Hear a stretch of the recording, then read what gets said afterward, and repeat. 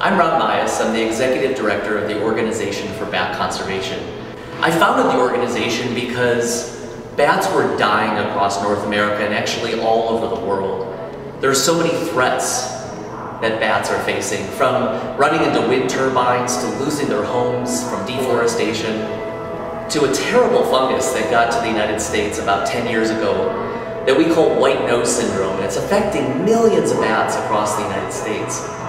What the Organization Bat Conservation does is we have these wonderful wildlife ambassadors, these amazing animals that we take into schools and, and people come and visit here at the museum, people see on TV, and it connects people to how important, interesting, unique, and not scary bats are.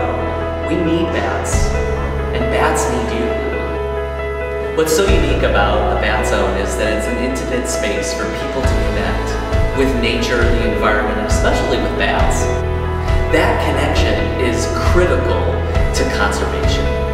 When they connect to these wonderful animals, they go home and they plant a wildflower garden they put up a bat house. They teach their friends. And they end up saving bats in their backyards, their communities, and their neighborhoods. The Bat Zone is getting a makeover. We're renovating the space so that tens of thousands of people experience these wonderful animals up close and personal.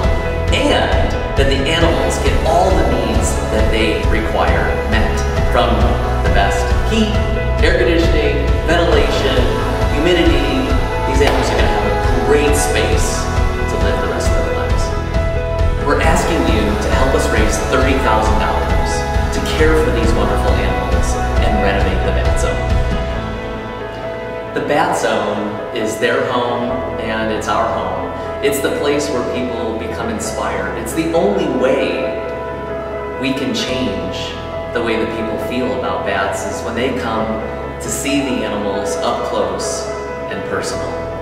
You can make a difference in the lives of these animals and help the environment by giving today.